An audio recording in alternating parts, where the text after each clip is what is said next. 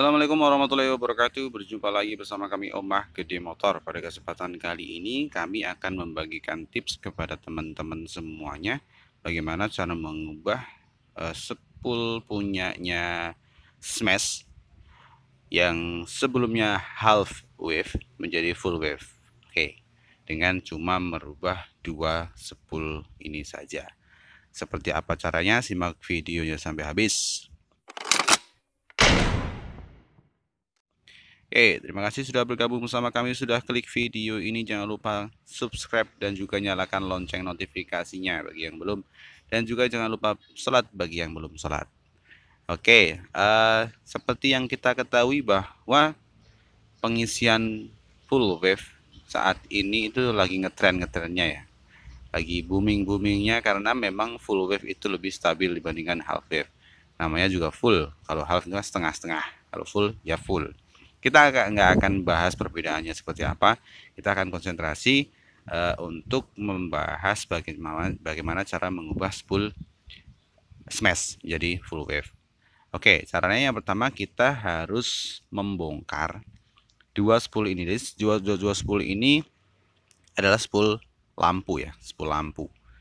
Sebenarnya bisa kita tanpa membongkar ini pun sebenarnya bisa, tapi nggak akan sempurna full wave-nya nggak akan sempurna karena ketika magnet melewati dua kumparan ini dia akan kosong.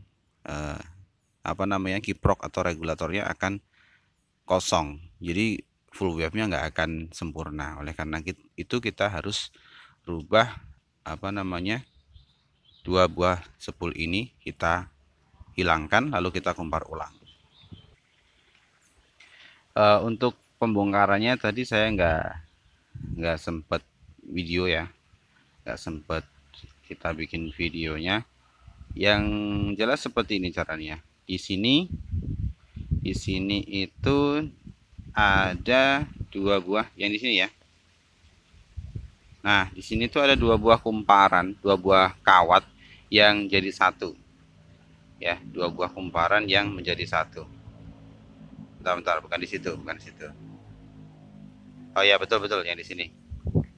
Oke di sini itu ada dua buah kumparan yang yang menjadi satu. Itu yaitu ujung dari kumparan yang enam ini dan juga ujung dari kumparan yang dua ini. Oke. Itu kita potong atau kita solder, kita lepas. Kita lepas. Terus juga kabelnya yang di sini dan yang di sini kita juga kita, kita lepas setelah itu uh, kumparan yang dua tadi kita uh, tarik sampai menuju ke kumparan ini. Setelah itu kita lepaskan.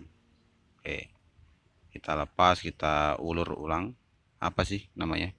Ya kita lepas. Kita gulungannya kita lepas sampai dua ini habis. Nah setelah itu kita juga harus melepas pada bagian ini.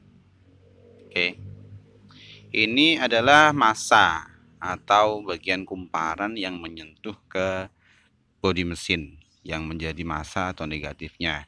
Yang yang namanya full wave itu enggak nempel ke massa, makanya gini kita lepas. Terus nanti kita hubungkan ke sini atau ke sini. Terserah. Oke ya. Oke, uh, seperti ini ya. Kini kita udah sambung untuk proses penyambungannya kita sambung yang dari sini dulu. Yang tadinya ke sini tuh kita copot kan yang tadi kan ya.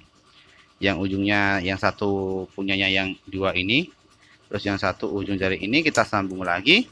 Terus kita kumpar ke sini kanan, ini searah jarum jam, ini berlawanan jarum jam.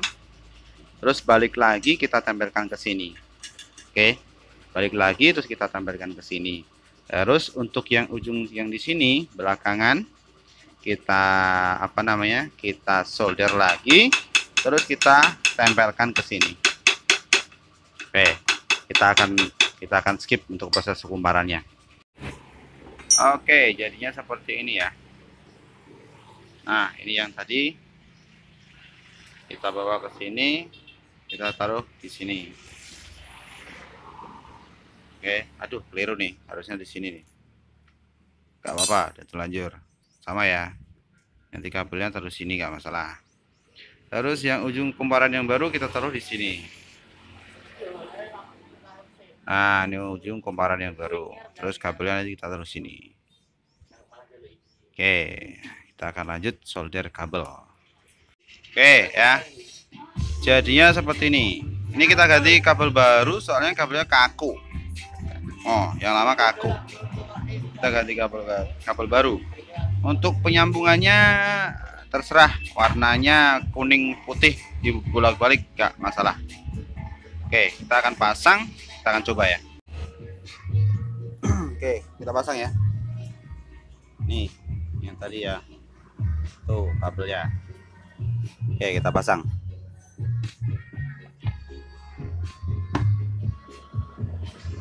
Sulit pakai tangan satu ternyata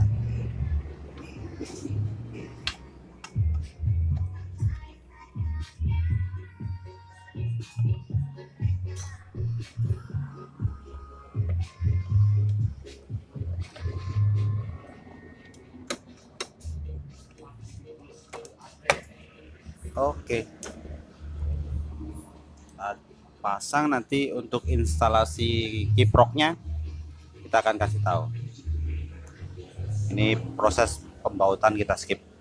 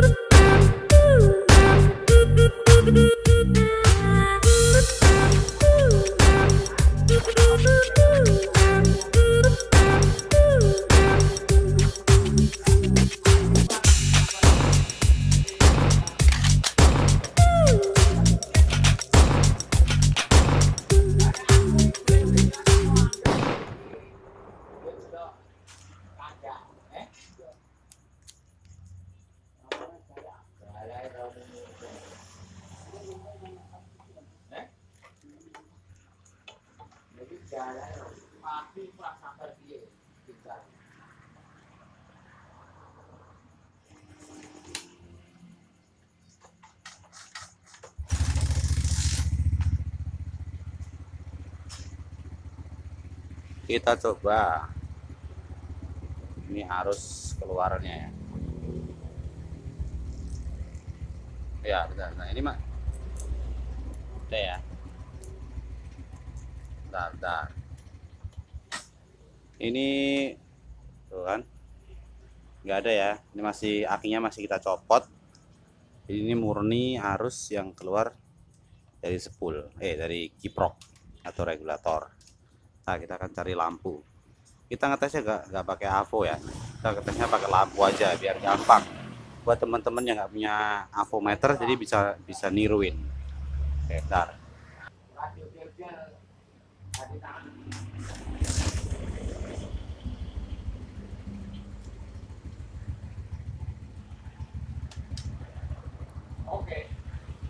Terang benerang ya. Bentar panas oke pak. Oke ya. Oh plus ini sudah bisa dijamin lebih lebih stabil. Oh kan? Terang. Oke seperti itu. Oke kurang lebih seperti itu. Uh, untuk mengubah pengisian yang sebelumnya half wave menjadi full wave. Kita pakai kiproknya NMAX. Eh semoga bermanfaat. Jangan lupa subscribe bagi yang belum dan juga jangan lupa nyalakan lonceng notifikasinya. Dan jangan lupa sholat bagi yang belum sholat. Oh ya ini kita solasi ya. Kita kasih solasi kita rapikan. Oke terima kasih. Assalamualaikum warahmatullahi wabarakatuh